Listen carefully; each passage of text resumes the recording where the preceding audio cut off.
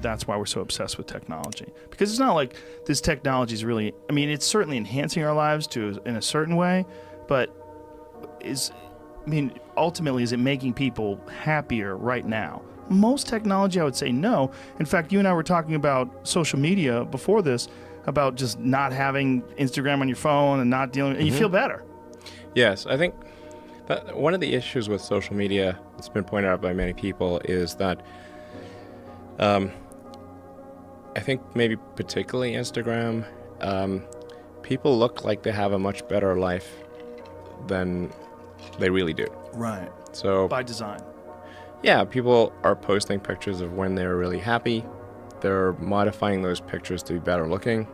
Um, even if they're not modifying the pictures, they're at least selecting the pictures for the best lighting, the best angle. Um, so people basically seem uh, uh, they're way better looking than they basically really are, Right. um, and they're way happier seeming than they really are.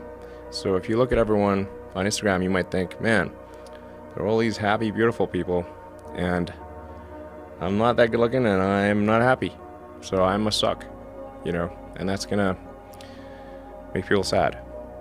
So when in fact, those people you think are super happy, actually not that happy. Some of them are really depressed. They're very sad. Some of the happiest seeming people, actually some of the saddest people in reality. Um, and, and, and nobody looks good all the time. It Doesn't matter who you are. No. It's not even something you should want. Why do you Yeah. want to look great all the time? Yeah, exactly. So, uh, so I think I think things like that can make people quite sad. Well, you Um, just, just by comparison, because you, you just sort of you, you people people generally think of themselves relative to to others. It's it's a we are constantly re rebaselining our expectations. Um, and you can see this, say, if you watch some show like Naked and Afraid, or you know, if you just go and try living in the woods by yourself for a while, and you'll like you'll learn that civilization is quite great. It has a lot, it's a lot of it. It's, people want to come back to civilization pretty fast on Naked What? and Afraid. Wasn't that a Thoreau quote? The comparison is a thief of joy. Yeah, well, happiness is reality minus expectations. That's great too. But the comparison is a thief of joy really holds true to people. Is it Theodore Roosevelt. Roosevelt? Fascinating. Um, in when you're thinking about Instagram, because what essentially Instagram is with a lot of people is you're giving them the opportunity to be their own PR agent, and they always go towards the glamorous. Mhm. You know, and when any, anybody does show, you know, hashtag no filter, you know, if, they, if they really do do that, like, oh, you're so brave. Look at you, no makeup. You know, Yeah. Which- they look good anyway. You look great. What are you doing? Oh my God, you don't have makeup on. You still look hot as. F- you know what you're doing. I know what you're doing too. They're they're they're letting you know, and then they're feeding off that comment section. Ooh, just a little sitting there like like it's a, a fresh stream of love. Like you're getting right up to the source as it comes out of the earth, and you're sucking that A lot of- lot of sweet emojis. water. Emojis, emojis, Yeah, a lot of Weird. emojis.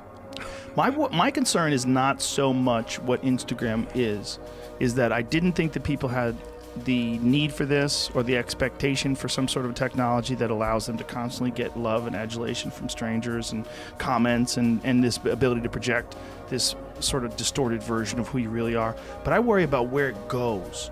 Like, what's the next one? What's the next one?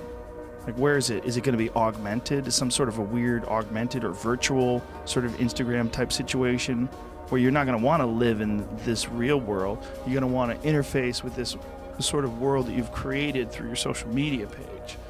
It's some next level thing. It's- Yeah, go live in the simulation. Yeah, I mean, it, In the simulation. some Ready Player One type shit that's real.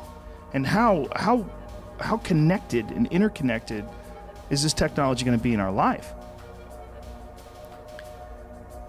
it will be at some point indistinguishable from reality. where we'll lose this. We'll lose this. Like you and I are just looking at each other through our eyes. I see you, we? you see me. I think, I hope. You think so? I think you probably have regular eyes. this could be some simulation. It could. Do you entertain that?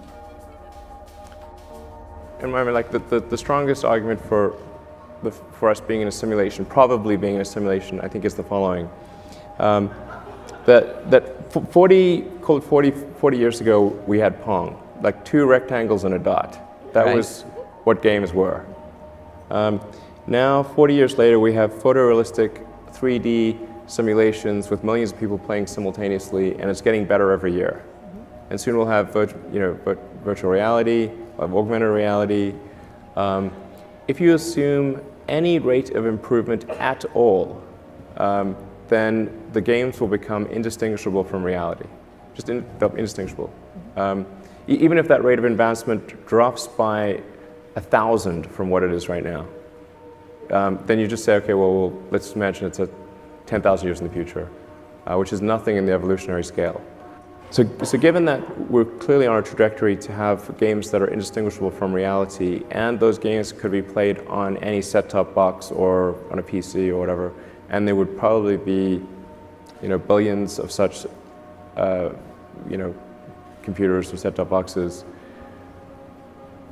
it would seem to follow that the odds that we're in base reality is one in billions.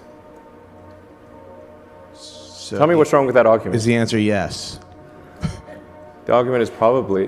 I mean, but I just like, is there is there a flaw in that argument? I mean, someone, but someone. I'm not that- sure what But the error. In, no, no, the argument makes sense. So the assumption then is that somebody beat us to it, and this is a game.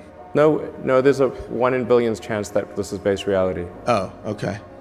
What do you think? Well, I think it's one in billions. Okay.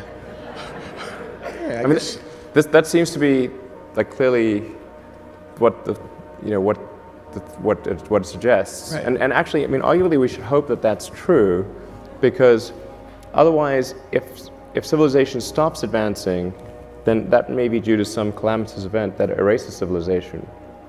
So maybe we should be hopeful that this is a simulation, because otherwise, So they could reboot it.